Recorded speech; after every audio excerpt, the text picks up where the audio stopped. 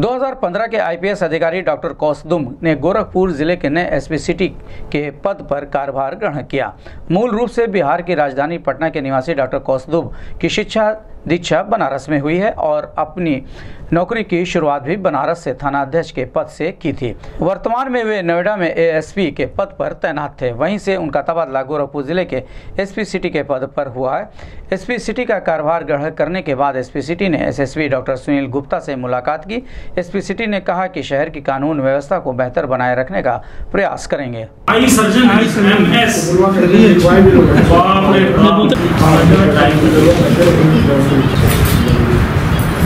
सत्रह साल हो गए, पहले नाम रही